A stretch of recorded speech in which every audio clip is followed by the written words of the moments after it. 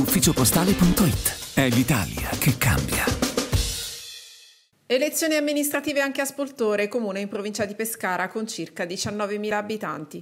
Gli aventi diritto al voto, secondo i dati del Ministero dell'Interno, sono 16.453. I cittadini possono scegliere tra quattro candidati sindaci. Chiara Trulli, centrosinistra più Movimento 5 Stelle, Marco Della Torre, centrodestra, Pierpaolo Pace, centrodestra, sostenuto in particolare dalla Lega, Nelson Anzoletti, candidato civico. Se nessuno di loro dovesse superare il 50% dei consensi si andrà al ballottaggio previsto per il 26 giugno. Ma cosa desiderano i cittadini per la loro città, che tra l'altro farà parte della grande Pescara? Eh, impiantistica sportiva per i giovani. E poi?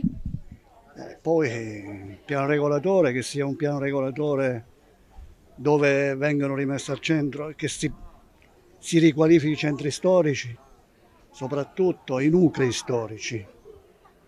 Quindi una politica che guarda alla salvaguardia del territorio. Moltissime cose ha bisogno. Cosa desidera per la sua città? Ma guardi, è un po' da migliorare il tutto su Spoltore. Mancano tante cose, speriamo che si risolva qualcosa. Un esempio di cosa manca?